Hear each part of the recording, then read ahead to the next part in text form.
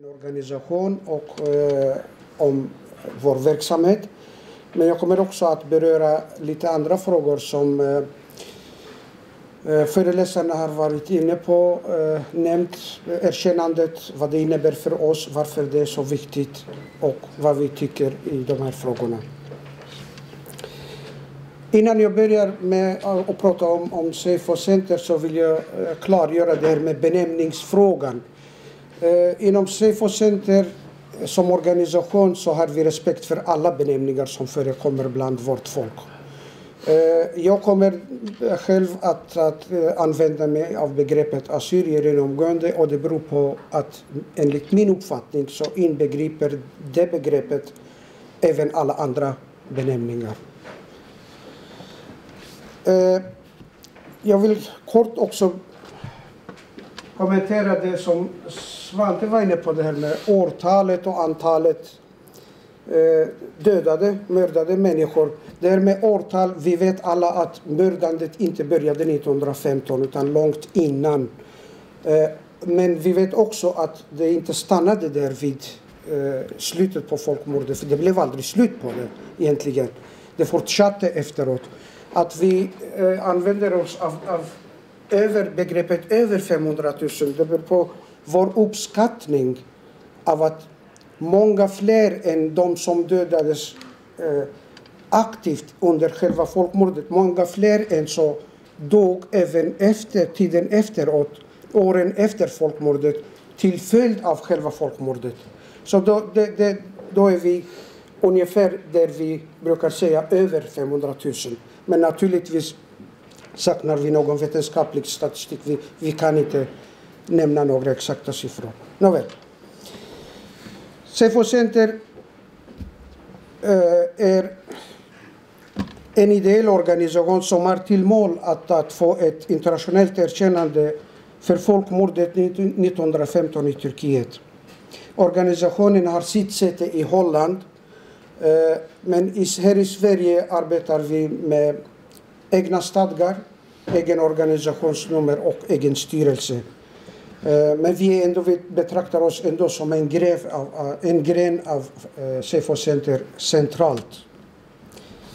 Långsiktigt arbetar vi för att bilda en Sefo-kommitté i alla kommuner där, där vi har en större grupp eh, assyrier där, som finns bosatta där. Och Sefo Center i Sverige vi vill på sikt bli en paraplyorganisation för alla dessa lokala kommittéer och anordna gemensamma aktiviteter. Organisationen lever på bidrag och gåvor från organisationer och privata personer. Men de lilla, de lilla resurserna som vi har, om säger att vi har en tusenlapp i vår kassa, den tusenlappen är vi beredda att dela med alla som vill göra en insats i SEFO-frågan.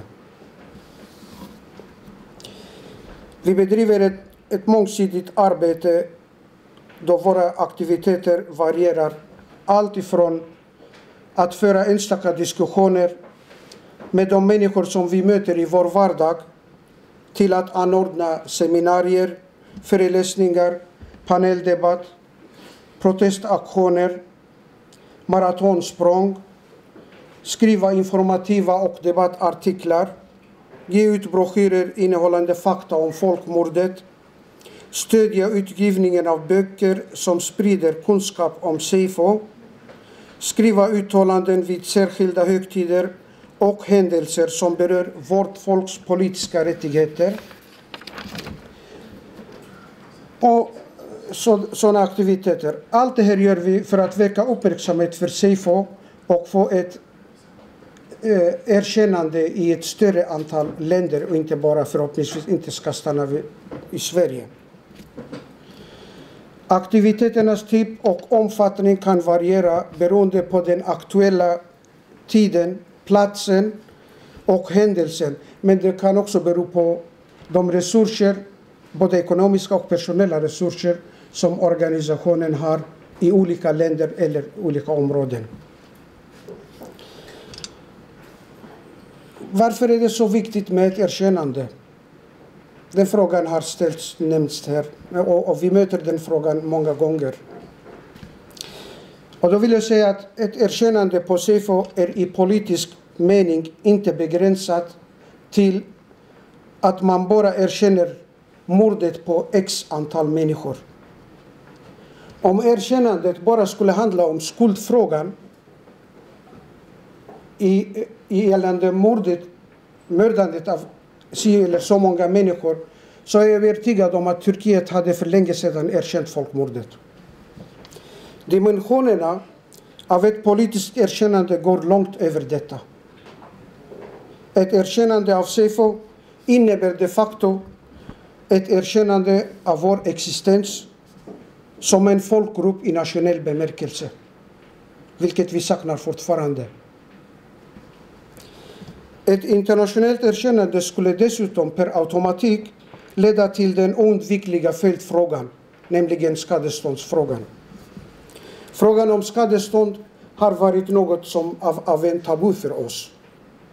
Många gånger har vi inte vågat nämna ens ordet skadestånd på grund av rädslan att många skulle missuppfatta oss och tro att vi kanske bara är ute efter ekonomisk kompensation, även om det skulle vara rätt i och för sig. Men jag säger här och nu att vi har ingenting att frukta genom att kräva skadestånd, även ekonomiskt sådant. Förutom den politiska upprättelse som vi kräver. Att vi inte har tillräckligt med uppbackning av omvärlden för att sätta tryck på Turkiet för ett erkännande betyder inte att vi ska ge efter när det gäller våra rättmätiga krav.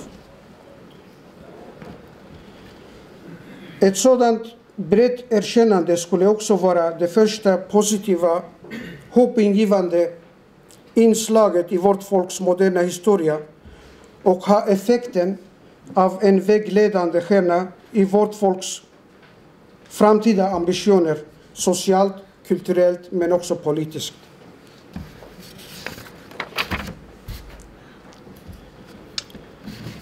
Ibland har jag mött på frågan om hur eller på vilket sätt utgör sig för frågan eh, identitet, gemensam identitet, som också den frågan har berörts idag. Vid närmare analyser kommer vi fram till slutsatsen att folkmordet seyfo är den onda roten till nästan allt elände, då säger jag nästan, som vårt folk har utsatts för och som fortfarande genomlider. Seyfo är med andra ord den största orsaken till att vårt folk har utarmats ekonomiskt, familjerna har splittrats, språket är på gränsen till att dö ut, kulturen har försvagats då vi måste anpassa oss till mångt och mycket som inte tillhör våra seder och bruk. Kyrkan har blivit korrumperad och gjorts till en arena för alla typer av tjuvar och förrädare mot sin egen flock. Våra människor har inget rädsla för att se saker och ting med kritiska ögon och än mindre att våga uttala sig kritiska mot det som de uppenbarligen tycker är fel. Bara på grund av rädslan av att inte bli straffade som de har blivit hela tiden i våra hemländer. Jag skulle kunna göra listan mycket längre än så, men jag nöjer mig med att konstatera följande. Det finns ingenting som är värre för en människa än att förneka sin etniska identitet. Att förneka sina rötter är en stark indikation på att man inte har någon grund att stå på. Så pass alienerad har våra människor gjorts mot sin egen identitet att vi bråkar idag om en rad benämningar och gör den ena eller den andra benämningen till ett självändamål. Medan vårt fosterland håller på att tömmas på sitt ursprungsbefolkning. Namnkonflikten har tagit sådana dimensioner att till och med en del av ledarskiktet, och då menar jag på båda sidor, både på assyriska och syrianska sidan, bland vårt folks organisationer tror att de gör ett heligt arbete när de kämpar ivrigt för att få den andra sidans erkännande. Dessa så kallade Umthonoi-patrioter tror att alla våra problem blir lösta bara vi kan övertala omvärlden om att vi är assyrier eller syrianer. Med allt detta i åtanke kan vi lätt konstatera att Sefo-frågan är i dagsläget den enda frågan som alla fraktioner och inriktningar identifierar sig med. Självklart är de faktorer som man skulle kunna betraktas som gemensamma nämnare många fler än bara Sefo-frågan. Men det egoistiska och själviska tankesättet som vi tyvärr bär oss fortfarande från våra hemländer förblindar och förhindrar oss att prioritera den nationella frågan före den egna, det egna partiets, den egna föreningens eller den egna kyrkans prestige. Det är i och för sig fel att säga att SEFO skulle vara identitetsskapande eftersom vi redan har vår historiska och nationella identitet även om och trots allt inte all, hela vårt folk är eniga om benämningen. Men vårt folk kan komma att få sitt etniska identitet, sin etniska identitet stärkt avsevärt ju mer som kravet på erkännandet av folkmordet uppfylls och vår nationella fråga upptas till dagordningen på den internationella politiska arenan. På samma sätt kan även Sefo, eh, eh, frågan om SIFO även komma att spela en avgörande roll i läkningen av de fortfarande blödande såren från åren 1915 och runt omkring. Allt eftersom vi får erkännande för vår nationella identitet genom erkännandet av SIFO. Låt mig avslutningsvis säga så här. Ett folkmord är ett brott mot mänskligheten. Att erkänna folkmordet Seifo handlar inte bara om kompensation för armenierna, assyrierna och pontiska greker. Det handlar mer om att se till att ett folkmord aldrig mer upprepas. Tack.